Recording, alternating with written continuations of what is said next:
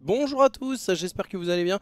On se retrouve aujourd'hui pour parler un petit peu contexte concernant l'Empire Arati présenté à The War Within. Alors on en avait déjà parlé un petit peu dans les vidéos sur euh, la BlizzCon, mais on va revenir dessus parce que j'ai vu qu'il y avait beaucoup d'interrogations, beaucoup de... Forcément on attaque, on attaque un sujet qui n'est pas forcément maîtrisé de base, et en plus Blizzard a eu l'excellente extrême idée d'appeler ça l'Empire Arati comme une autre entité. Du coup, il y a d'énormes confusions et autres, donc il est temps de revenir dessus.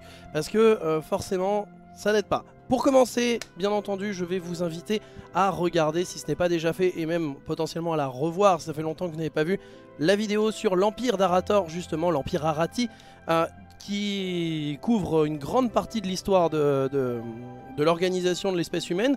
Vous avez également la généalogie sur les humains, où on reparle un petit peu des sept royaumes, etc et l'histoire des paladins humains sur lequel on est revenu notamment sur la naissance de la foi et de l'église de la lumière au sein de l'humanité. Ces trois vidéos sont très très importantes pour comprendre la vidéo d'aujourd'hui. Donc voilà, parce qu'on va rentrer un petit peu, je, vais faire une vidéo qui j'espère ne sera pas trop trop longue, mais d'un autre côté je vais quand même rentrer dans des détails puisque euh, c'est, je, fais en, enfin, je fais en conséquence, normalement vous avez regardé les trois autres vidéos. Donc commençons, on va faire quand même des petits rappels hein, bien sûr, mais on va essayer d'être assez précis. En l'occurrence, nous avons donc l'Empire de Strom, qu'on appelle également l'Empire Aratorien, qu'on appelle également l'Empire Arati ou Empire d'Arator. s'agit tout simplement du Royaume d'Arator. Ça, ça peut être un point qui peut vous aider à bien différencier les deux entités. L'origine de le premier grand royaume de l'humanité, c'est le Royaume d'Arator. Alors, on appelle ça un empire, c'est pas faux, mais il n'est pas gouverné par un empereur, il est gouverné par un roi le premier roi de, la lignée Arati, le premier roi euh, de l'empire de Strom, c'est tout simplement, eh bien, Soradin, ou Thoradin, ou Thoradin. Donc, Thoradin, eh ben, c'est pas, un, pas un empereur, c'est un roi. Donc, si ça peut vous permettre de bien différencier les deux, c'est le royaume d'Arator, ou le royaume d'Arati. Donc, ou, le, royaume de Strom. Alors pourquoi on l'appelle empire? Bah, Tout simplement par sa politique, puisqu'il euh, coche toutes les cases qui fait que, cela constitue bien un empire. Hein. Euh, il est expansionniste, euh, il regroupe plusieurs populations différentes, il a centralisé son économie, etc. etc. Donc, c'est ce qui fait que tout simplement, eh bien, depuis le roi Soradin, nous avons la fameuse lignée royale Arati. tous les successeurs de Soradin eh bien, sont des Arati. Et en l'occurrence, les premiers mages humains et fondateur de l'église de la lumière, faisait partie de cette entité-là, donc le royaume d'Arator. On a, euh, dans la généalogie sur les humains, on vous avait fait un petit rappel, mais donc on a l'empire de Strom, euh, qui a tout simplement eh bien, euh, disparu il, y a, il y a 1200 ans avant l'ouverture de la porte des ténèbres, et sa, enfin, sa disparition, c'est pas une disparition en mode oh là là, je, je, passe un petit peu les détails, il n'y a pas eu une crise, enfin il y a eu une crise majeure mais politique plus et économique etc. Ce qui fait que l'Empire de Strom s'est démantelé en sept grands royaumes humains, Alterac, Azeroth, Dalaran, Stromgarde, Lordaeron, Gilneas, Kultiras. Terramort c'est plus tard hein, avec War 3. Et en gros, eh bien, ce que nous apprend The War Within, c'est que il y a un neuvième royaume humain. Alors, j'ai mis un point d'interrogation parce qu'on n'est pas encore tout à fait sûr, mais ce serait le royaume d'Avaloren, mais qu'on appelle Empire Arati pour le moment. Est-ce que Avaloren serait l'endroit et ce serait toujours l'Empire Arati? Et ce qui peut, encore une fois, vous servir à différencier les deux, c'est Royaume d'Arati ou Royaume d'Arator, Royaume de Strom, qui, a comme capitale Strom, qui deviendra Stromgarde, et de l'autre côté l'Empire Arati avec l'Empereur Arati, et ça on va y revenir. Donc, sachant qu'en plus, on pourrait même évoquer le fait que ce n'est plus vraiment un royaume humain. Alors, ça reste un royaume humain, bien sûr, puisque, eh bien, euh, avec The War Within, on apprend quelque chose. C'est qu'il a la particularité d'être un royaume de demi-elfes. On le voyait déjà avec les cinématiques. Avait des oreilles pointues, la demoiselle. Eh bien, eh, on apprend en fait que l'Empire Arati que l'on rencontre à Sainte-Chute dans The War Within, eh bien, est un mix entre humains et elfes. Et ça c'est assez important parce que bah, ça veut dire que, et on, peut mesurer ça, la quasi-entièreté des habitants de Sainte-Chute sont des demi-elfes. On a quelques, quelques hauts elfes et on a quelques humains normaux. Mais alors est-ce que c'est une erreur d'ailleurs pour les humains normaux? On ne sait pas. Les elfes c'est clairement pas une erreur. Donc on a une énorme culture humaine saupoudrée d'éléments en fait aux elfes, comme par exemple les lynx, hein, ils n'utilisent pas des chevaux mais des lynx, ils ont les oreilles pointues, certains prénoms et noms sont vraiment très euh, elfiques, hein. je pense à Belédar, on en reparlera plus tard, ou Renilash, etc. Il y, a des noms, il y a des noms qui font elfiques. On a quelques emblèmes, comme celui euh, du grand général euh, Heurtacier ou Steel Strike, qui, porte justement l'emblème au elfe, le, faucon, enfin le, faucon phénix, on sait pas trop. et donc, ça, ça pose un petit problème, c'est... Enfin, un problème, c'est pas un problème, mais ça pose beaucoup d'interrogations sur qui sont-ils. Donc on va faire un petit point. On revient à l'époque, il y a 1200 ans avant l'ouverture de, la porte des ténèbres. pour le contexte, rappelez-vous, eh bien, il y a la lignée Arati qui lance une grande expédition vers le sud de Strom, alors que beaucoup de, la noblesse de l'Empire, du royaume Arator, du royaume d'Arator commencent à, euh, on va dire, prendre de plus en plus leur indépendance, fonder l'Orderon, etc., etc.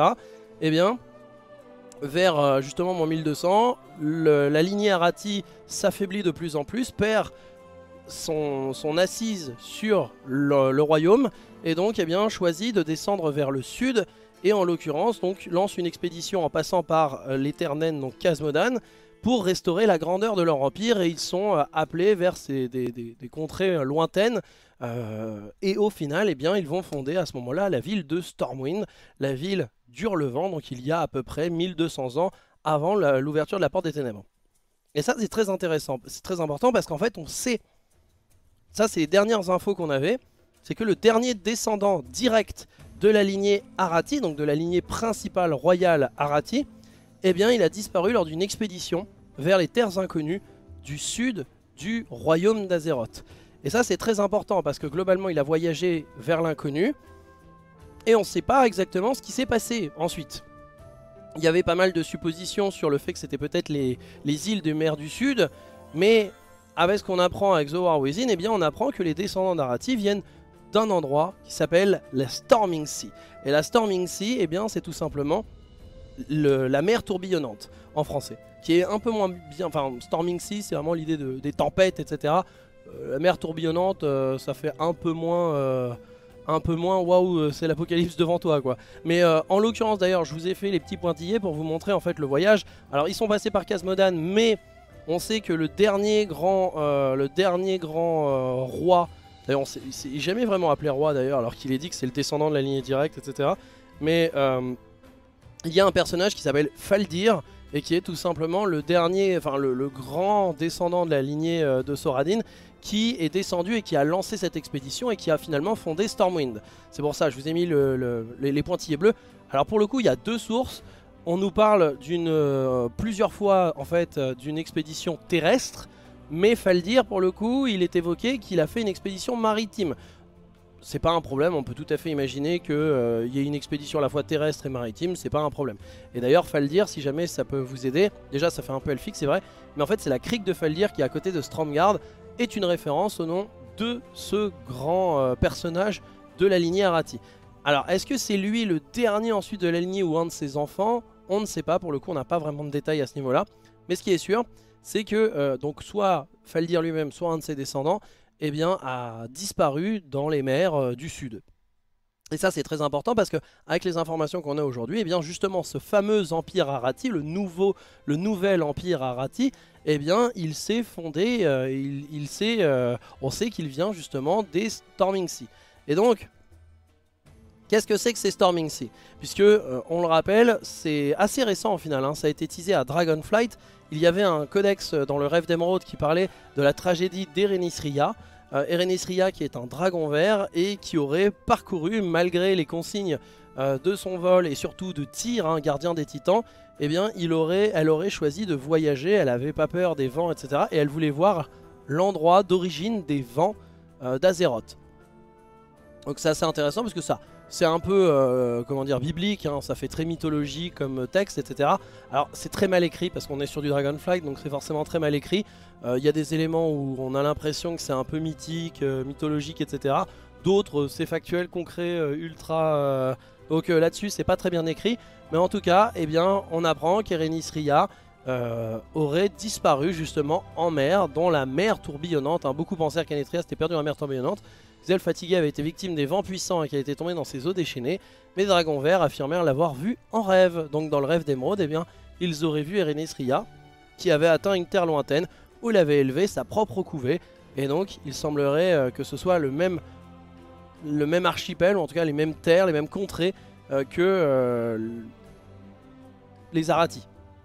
Sachant qu'on nous parle vraiment d'une mer extrêmement dangereuse, même pour les dragons, euh, pleine de monstres, de catastrophes naturelles, donc comme on l'a dit, des tempêtes fantastiques, et en même temps une enfin une mer de magie qui rendrait sa traversée quasi impossible.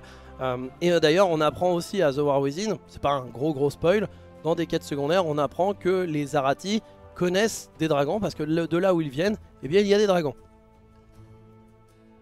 Même si ça reste un animal fantastique, tout ça, tout ça. Donc où est donc cette mer? Parce que justement, on pourrait se dire, bah attendez, sur la carte euh, de World of Warcraft et sur les cartes de Warcraft, euh, à l'est des royaumes de l'Est, on a la mer interdite, et à l'ouest de Kalimdor, on a la mer voilée. Au milieu, c'est le grand océan. Donc, où est cette mer tourbillonnante? Eh bien, cette mer tourbillonnante, donc cette mer, euh, cette, cette, Storming Sea, eh bien, apparemment, elle existait, puisque je vous en parlais avec les, les récits d'Erenisria, eh bien, elle existait déjà à l'époque de l'ancienne Kalimdor. Donc quand toutes les terres étaient connectées les unes aux autres, il y avait déjà la mer voilée, hein, parce que si vous regardez votre carte de Chronicle, il y avait la mer voilée. Mais en gros, plus loin, eh bien, il y a la fameuse Storming Sea. Et ce qui est assez intéressant, c'est que donc elle semble se trouver à l'ouest de l'ancienne Kalimdor, donc globalement à l'ouest de notre ancienne Kalimdor. Mais en étant à l'ouest de notre ancienne Kalimdor, eh bien du coup, elle serait à l'est euh, des royaumes de l'Est, tout simplement. Ce qui fait que voilà pourquoi on s'est mis des petits pointillés. Il y a de grandes chances qu'en fait, il soit passé par la mer interdite. Alors on verra, on aura plus de récits. Peut-être qu'ils nous feront un, voyage World of Warcraft assez ridicule où ils traversent euh, complètement euh, l'opposé. Mais moi personnellement, s'ils font ça, ce serait vraiment nul à chier. Pourquoi? Parce que bah, ça enlèverait complètement l'exploit euh, qu'avait fait, qu'avait atteint Thrall et Jaina à Warcraft 3, où ils ont atteint Kalimdor en traversant le grand océan, l'océan majeur. Donc quitte à faire quelque chose de nouveau, autant nous parler de cette mer interdite qui a toujours été assez mystérieuse. Et justement, pourquoi est-elle interdite cette mer? Il était, On a très peu d'infos là-dessus, mais ça sous-entendait que c'était une mer euh, quasi infranchissable. Donc au-delà de la mer interdite, qu'on ait euh, une mer euh, tourbillonnante Storming Sea, ou même que la mer interdite soit un des autres noms de la Storming Sea, ce serait pas du tout déconnant. J'en profite d'ailleurs pour débunker tout de suite le côté complotiste avec la face cachée d'Azeroth. Azeroth, revenons sur cet élément quand même centrale et basique, c'est une sphère. Donc il n'y a pas d'histoire de face cachée, de machin, je sais pas quoi. On est sur une sphère. Nous avons des planisphères, vous avez une carte, vous pouvez pas retourner la carte et ne plus rien voir. Donc évidemment, bien sûr, à terme, ils vont probablement remodifier l'échelle et ils l'ont tout le temps fait avec World of Warcraft. Mais nous avons des grands continents et nous avons des archipels. Euh, globalement, ça c'est l'échelle d'ailleurs pour à peu près les îles brisées, Kultiras, Zandalar. Il n'y a juste pas la Pandarie sur cette image. Mais euh, vous avez à peu près l'échelle, hein, Kultiras, se retrouve en dessous de Lordaeron, entre Lordaeron et Azeroth. Voilà. Les continents, ça reste ça. Donc après qu'on ait des archipels à l'ouest de Kalimdor, ce serait pas déconnant. Mais si vous aviez jamais tiqué, Royaume de l'Est, Kalimdor, Royaume de l'Est, aujourd'hui ils utilisent encore plus ce nom, c'est l'idée du vieux continent. Et les royaumes de l'Est représentent l'Europe. Azeroth est très inspiré de notre monde. Et généralement, la plupart des univers d'Heroic Fantasy ont des mondes qui ressemblent beaucoup aux nôtres, hein, de près ou de loin, mais ils sont quand même inspirés. Et si vous n'aviez jamais tiqué, les royaumes de l'Est, c'est l'Europe en fait. Hein. Et Kalimdor, ça pour le coup, jouer à War 3, etc., vous l'aurez. Ils n'arrêtent pas d'appeler ça le nouveau monde, le nouveau monde, le nouveau monde. Alors maintenant qu'on a découvert la Pandarie, c'est sûr que le nouveau continent, ce serait plutôt la Pandarie, mais Kalimdor est le nouveau continent déjà aussi pour euh, les euh, royaumes de l'Est. Et d'ailleurs, rappelez-vous que c'est écrit par des Américains. On a euh, des, des, factions qui se sont posées, qui ont été trouvées justement leur destinée et un nouveau départ, notamment pour la Horde, sur un continent ouest en partant du vieux continent. Ça doit, ça doit vous rappeler la conquête de l'Ouest, tout ça, tout ça. Et accessoirement pour les Américains qui ont déclaré leur indépendance lors de la guerre d'indépendance, bah, ils n'avaient pas de royaume à l'Ouest. Du coup, l'Europe, pour eux, c'était quoi? Les royaumes de l'Est. Et encore, la terminologie de vieux continent là-dessus marche très très bien. The Old World, le vieux continent, c'est aussi un des noms euh, de l'Europe de Warhammer. Et c'est accessoirement l'un des titres tout simplement de l'Europe. Donc le Nouveau Monde, Kalimdor, l'Amérique, si je vous dis que sur Kalimdor vous avez des, créatures qui sont très inspirées des natifs américains, hein, les, les fameux Indiens d'Amérique, avec les taurennes et les elfes de la nuit, normalement ça vous choque pas tant que ça. Donc en fait, cette Storming Sea, cette mer tourbillonnante, c'est simplement le Pacifique. Le Pacifique, donc oui, il y a des îles dans le Pacifique, il y a énormément d'archipels dans le Pacifique, pas de grande masse continentale, etc. Et en l'occurrence, de toute façon, ça ne change pas grand-chose. Et ça D'ailleurs, le Pacifique est le, plus grand océan euh, de notre planète et aussi l'un des plus dangereux. Donc euh, là-dessus, ça marche, ça marche très très bien. Et il suffira de retoucher un peu l'échelle, rajouter l'archipel à l'ouest et il n'y aura aucun problème. À côté de ça, donc ce qu'on sait concernant ces nouveaux Zarati, on sait qu'ils sont très pieux et vénèrent la lumière en suivant les préceptes de Dame Mereldar, on en a déjà pas mal parlé. J'en avais parlé aussi dans les vidéos de la saga. Globalement, hein, ce sont des chevaliers de la dame en quête de, euh, de vision, d'information. On est sur le côté quête du Graal complètement. Hein. On est sur le côté quête du Graal avec l'idée d'une dame qui a des visions, qui voit des choses. Puisque je vous rappelle que Mereldar avait les visions de 5 Naru qui ont du coup eh bien, retranscrit les 5 euh, grandes valeurs de l'église de la lumière et euh, au final eh bien, elle a guidé justement la lumière vers les hommes. Et aujourd'hui eh bien, le terme de Mereldar est encore utilisé, je vous rappelle que Mereldar était un lac de Lordaeron à Vanilla donc c'est un peu la dame du lac. Et au final eh bien c'est le nom de la capitale des humains d'Arati de Sainte-Chute. Donc Mereldar on va continuer d'en parler. Et évidemment le côté vision de Mereldar est très très important dans euh, l'aspect culturel de cet empire Arati. Donc ça veut dire que, on l'a dit, 1200 ans avant l'ouverture de la Porte des Ténèbres, c'est le moment des grands dysfonctionnements au sein du royaume d'Arator, empire d'Arator, et donc, eh bien, les descendants Arati ont trouvé une terre, peut-être à Valoren, peut-être autre chose, vers l'ouest de Kalimdor, et au final, ils ont tout simplement fondé un nouveau royaume humain, le neuvième royaume humain. Techniquement, c'était avant Terra Mort, donc ce serait le 8 et Terra Mort le 9 mais vous m'avez compris. Et ils transformèrent leur entité politique, donc leur royaume, en empire, avec un empereur à sa tête. Et en l'occurrence, euh, on a le nom de l'empereur, hein, euh, et globalement les noms de toute façon qu'on a. Quand c'est pas elfique, quand c'est pas elfique, c'est très très très inspiré euh, de, de, noms allemands. Et donc on a vraiment un côté très Saint-Empire romain germanique, avec l'idée qu'ils reprennent euh, il se constitue comme une entité qui suit tout simplement qui suit tout simplement euh, la grande entité. En fait, si vous voulez, le royaume d'Arator serait un peu euh, l'Empire romain, et l'Empire Arati se retrouve comme le Saint-Empire romain germanique qui pense que, bah du coup, non, c'est eux les légitimes romains, etc. Et qui ne sont que dans les... Il n'y a même pas vraiment de succession pour eux, puisqu'ils sont les enfants naturels de tout ça. Sachant que j'en profite pour vous le rappeler, les 7 royaumes humains, 8 avec Terra Mort, ont tous, forcément, sont tous des descendants euh, des Arati. C'est juste la lignée principale, on parle de la lignée principale. Et donc, eh bien, globalement, ils ont fondé leur empire, donc un empire à peu près de 1000 ans. Et au final, la lignée a été assez prospère, puisque, eh bien, on a euh, une entité, euh, un personnage qui a été nommé, donc on a un roi euh, qui est tout simplement euh, le roi. Euh, ah, j'ai un doute, j'ai un, un, trou. C'est l'AF. C'est un nom allemand, mais j'ai oublié. Et en gros, c'est le quatrième du nom, ce qui indique qu'il y a eu d'autres empereurs, etc. et lui, c'est un des empereurs qu'on est nommé, mais c'est pas pas l'empereur actuel.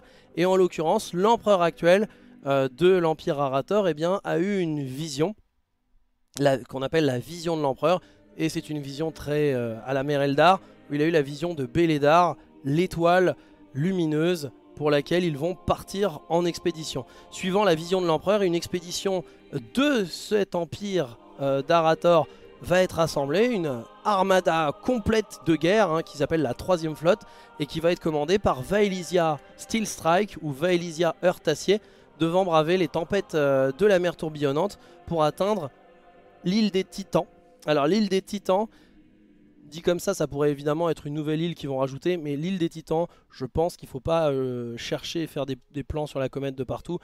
Euh, l'île des Titans, c'est Casalgar. À mon sens, sauf s'ils rajoutent une autre île des Titans, l'île des Titans, c'est Casalgar. Pourquoi? Parce que n'oubliez pas Casmodan, Kazmodan, vous connaissez, c'est le continent des nains, Ironforge, tout ça, c'est là où il y a les nains. Kazmodan, c'est les montagnes de Kaz. C'est les montagnes, et elles sont parfois appelées les montagnes du Titan.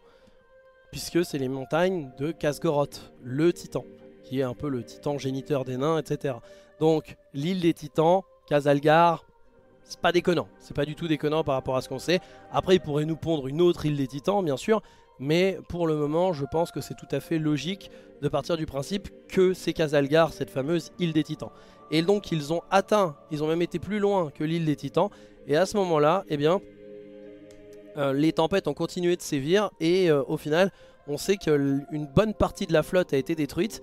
Et au moment euh, le plus, désespéré, au final, eh bien, alors je rappelle que c'est une flotte volante, une flotte aérienne hein, d'ailleurs, flotte aérienne, pas flotte terrestre. Je ne l'avais pas forcément précisé même s'il y a l'image.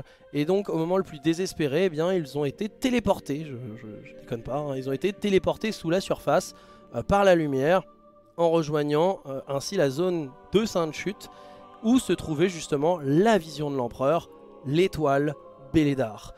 Bélédar, donc le Bélédar ou Bélédar tout simplement, c'est là où vous voyez un terme elfique aussi, un hein, Bélédar. Eh bien, c'est une origine, euh, on n'a pas encore vraiment sa, nature, hein, les normes cristal. Euh, je rappelle que ce n'est pas l'épée de Sargeras d'ailleurs, hein, j'en profite, euh, je l'avais déjà dit, mais je, le redis, parce que visiblement il y en a qui pensent encore que c'est le cas. non, c'est justement pour le moment assez inconnu au niveau de son, origine, mais ça fait très très très très très très très Naru. Je rappelle que Mereldar en plus avait des visions des Naru, des, fragments de lumière, des cristaux de lumière et tout. Donc si c'est pas des Naru, c'est des super Naru quoi, hein, mais... Ça fait très très très Naru ce truc. Hein. Et on imaginerait bien une sorte d'amalgame de, lumière euh, de Naru qui formerait une sorte de, grand cristal. Ce serait pas du tout déconnant. Sachant que pour, on sait en plus que c'est pas l'épée euh, de Sargeras, c'est la pointe de l'épée de Sargeras déjà parce que les devs l'ont dit. Mais en plus, en fait, elle était là avant l'épée de Sargeras puisque globalement l'expédition est assez récente. C'est l'expédition de, ce nouvel empire est assez récente puisque euh, globalement ça fait qu'une dizaine d'années qu'ils sont là. Je vais en reparler de ça. Mais euh, donc ça fait qu'une dizaine d'années. Donc je rappelle que Dragonflight commence en l'an 40. On sait pas exactement combien dure Dragonflight, un an, deux ans, dans tous les cas. Ça fait qu'une dizaine d'années qu'ils sont là. Donc ils sont arrivés avant Légion. Avant les événements de Légion, avant que Sargeras enfonce son épée. Et comment on le sait eh bien tout simplement parce que le jour où l'épée a touché euh, Azeroth, eh bien le Bélédar s'est mis à changer, s'est mis à scintiller différemment avec un cycle jour-nuit, un cycle lumière-vide. Et en l'occurrence, eh bien, c'est ce que les Arathi appellent le jour des ténèbres, le moment où justement eh bien l'étoile a commencé à vriller et à passer du côté obscur. Et aujourd'hui, elle a voilà 3 heures lumière, 3 heures obscur, 3 heures lumière, tout ça. Sachant que quand ils se sont installés, ils ont fondé la capitale de Mereldar, en hommage bien sûr à la dame, en hommage à Dame Mereldar qui a fondé l'église de la lumière. Donc on a vraiment un empire très très pieux hein, pour le rappel, un empire saint, qui fait très Saint-Empire romain germanique comme je le disais.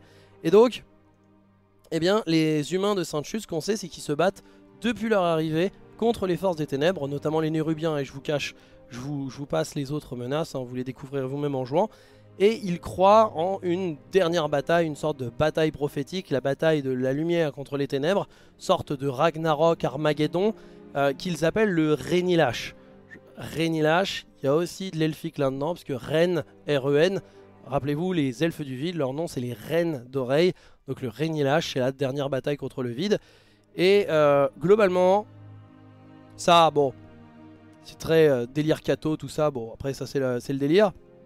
Ils sont très pieux, ils sont très. Euh, ils croient énormément en, la lumière, etc. Donc ce sont des fanatiques de lumière, donc pas de problème à ce niveau-là. Par contre, le fait qu'ils ils arrivent que depuis une dizaine d'années, c'est vraiment de la merde. Pourquoi c'est vraiment de la merde? Alors, ça c'est qu'un concept art, mais euh, c'est qu'une illustration officielle. Mais si vous allez en jeu, vous voyez, la, zone est magnifique, il y a des villes, il y a des forteresses, il y a des redoutes, il y a des donjons. Mereldar est magnifique, on a également le, prieuré de la flamme euh, sacrée qui est en haut. Euh, magnifique endroit, une sorte de cathédrale gigantesque. En une dizaine d'années, ça n'a aucune crédibilité. Aucune crédibilité. Sachant qu'on parle d'un peuple de demi-elfes. Donc pourquoi ils s'imposent une dizaine d'années? Ils pouvaient tout simplement dire euh, que ça faisait des siècles qu'ils étaient arrivés, genre 300 ans, et hop, en 300 ans, ils ont tout constitué, et ils ont perdu plein de monde, tout ça, tout ça, que c'est difficile. Ça, là, on y croirait. Le fait de dire que ça fait qu'une dizaine d'années qu'ils sont arrivés, je ne sais pas qui a eu la décision de faire ça et qui a validé derrière, mais c'est ridicule. C'est ridicule. Ça n'a aucune... Euh, ça, enfin, ça, ça fait perdre... Je veux dire, le récit, il est, complètement ok, etc. Bon, il y a des trucs, il faudrait plus de détails. Hein. La téléportation dans sa chute, bon, ok, c'est un peu bizarre, mais... C'est un peu récit biblique, mythologique, tout ça, ils ont pas compris ce qui s'est passé. Bon, d'accord. Dans tous les cas, une dizaine d'années, ça c'est de la merde. C'est vraiment de la merde. Et encore une fois, c'est des demi-elfes. Et juste à dire que ça faisait des siècles euh, qu'ils étaient là. Sachant qu'à la BlizzCon, ils avaient dit que ça faisait des siècles qu'ils se battaient contre les Nérubiens. Donc, je sais pas ce qui s'est passé, mais euh, c'est peut-être aussi la quête secondaire qui est nulle à chier, hein, parce que c'est une quête secondaire qui nous donne cette information, et ils, euh, précisent pas, ils disent bien une dizaine d'années, donc ça peut être 7 ans, comme vers euh, approcher de 20, donc 19 on va dire au maximum, mais c'est trop, court dans tous les cas, quand on voit les, monuments, etc. Et il parle vraiment de, de transmission intergénérationnelle. Je rappelle qu'une génération humaine, c'est d'un point de vue sociologique, c'est 30 ans. Donc euh, là ça marche pas quoi, ça marche vraiment pas et c'est vraiment dommage parce que sinon tout le reste est tout à fait crédible. Et je rappelle, j'en profite aussi pour faire un rappel là-dessus, Anduin Lothar est toujours le dernier de la lignée des Arati du vieux continent. Ça ne change rien. Et ça ne c'est pas complètement un redcon qui sort de nulle part, etc. On nous parlait déjà dans la novélisation de Warcraft 2 à l'époque de BC que la lignée principale Arati avait disparu dans une expédition en partant vers le sud. Donc en soi, ça n'est pas du tout une, euh, incohérence euh, et, ça n'enlève rien à Anduin Lothar, je tiens à le dire. Anduin Lothar a été le dernier représentant de la lignée Arati, alors peut-être pas la lignée principale, plutôt euh, on, savait que c'était plutôt une lignée secondaire, mais il avait une, il avait beaucoup de raccordements à la lignée principale. Le truc, c'est que, donc, ce qu'on sait, c'est qu'Anduin Lothar est un très très très très très lointain cousin des Arati actuels et notamment des de la famille euh, Lothar actuelle, puisque chez les Arati, eh bien, ils ont une, euh, une noblesse Lothar. Et en l'occurrence, globalement, donc ça fait à peu près 1000 ans d'écart entre les deux, mais ce sont tous les deux des Lothar. Euh, ils ont juste parti leur, dans leur coin. Et j'en profite pour le rappeler aussi, comme je l'ai dit, le royaume d'Azeroth, bah, il y a pas mal de sang Arati. Pas aussi direct que Anduin Lothar, mais les sept royaumes humains ont du sang Arati qui coule dans les veines, de, notamment de leur grande noblesse. Parce que je vous laisse imaginer que quand la lignée principale Arati était à Strom, euh, les grands nobles, qui, notamment les Trollbane de Stromgard, on va pas me faire croire qu'ils n'ont pas de sang Arati. Hein les, mariages, hein, vous avez vu Game of Thrones, House of Dragon, tout ça, tout ça. Les mariages, surtout pour, euh, pour les Stromgardiens, enfin Trollbane, la famille Trollbane qui est tellement importante, la famille de Lordain. Je rappelle que Mereldar, c'est la sœur de Lordain. Hein. Vous savez, Lord, Lordaeron qui vient de Lordain, tout ça, tout ça. Donc, euh, ils ont du sang Arati. Et euh, même la famille Lothar, qui est très importante dans le royaume d'Azeroth, hein, le royaume de, de le royaume de Stormwind. On va voir comment ce sera canonisé, etc. Mais euh, la sœur dans une Lothar, pour le moment, ça semble assez canonisé, même si il y a encore des points un peu flous. Comme quoi, la sœur était bien la mère de Varian. Donc, techniquement, et même de toute façon, même si ça, c'est pas canonisé, ça paraît tout à fait évident qu'en mille ans d'existence, les Lothar et euh, les Vryn, la famille dirigeante de Stormwind, donc Anduin Vryn, le roi actuel euh, du royaume d'Azeroth, il est du sang Arati. C'est juste que c'est pas la lignée principale et que c'est très loin, mais il a du sang Arati. Et pour ce qui est euh, du côté demi-elfe, du côté demi-elfe pour les pour l'empire Arati, eh bien, on peut tout à fait on peut tout à fait imaginer que des hauts elfes les aient rejoints dans cette fameuse quête prophétique de la lumière, parce qu'il y a vraiment l'idée de, quête du Graal, d'expédition vers les, des, visions que l'empereur... Euh, ça c'est pour Sainte-Chute, c'est pour l'expédition de Sainte-Chute, hein, j'en profite pour le rappeler. Mais euh, c'est un peu déjà le cas aussi pour la conquête du royaume d'Azeroth et autres. Donc on rappelle, à Kazalgar, dans euh, les cavernes, l'expédition de Sainte-Chute n'est qu'une expédition du 9e royaume humain qui est l'Empire euh, l'Empire Arati. Donc voilà, j'espère que là-dessus c'est bien clair. Et le fait que du coup il se soit hybridé avec les elfes, etc., c'est pas du tout déconnant. Euh, qu'il soit parti avec des elfes qui eux aussi croyaient en la lumière, c'est pas. Et on aurait eu les, les plus fanatiques elfes de la lumière qui soient partis vers l'est avec, avec les humains, c'est pas du tout déconnant. mais maintenant, c'est vrai que va falloir, va falloir regarder ça de, de plus près, notamment certaines choses on a des paladins, enfin notamment les, paladins humains, alors que bah non, les paladins humains ça existe que depuis la Deuxième Guerre. notamment les, seulement la dizaine d'années sur laquelle ils sont arrivés. Il y a des trucs qui sont pas parfaits, mais de manière générale, ça, ça s'emboîte bien. Et j'espère que c'est plus clair maintenant que vous ayez, euh, après que vous ayez vu cette vidéo. Voilà, merci à tous. On se dit à bientôt pour une prochaine vidéo. A plus dans le Nexus. Merci pour votre visionnage, chers apprentis de lumière. N'hésitez pas à suivre les réseaux sociaux N'hésitez pas gratuitement à soutenir la chaîne en likant, commentant, partageant et en vous abonnant à la chaîne YouTube. Et vous pouvez également contribuer financièrement en passant sur le Kofi. Tout ça est dans la description. Bisous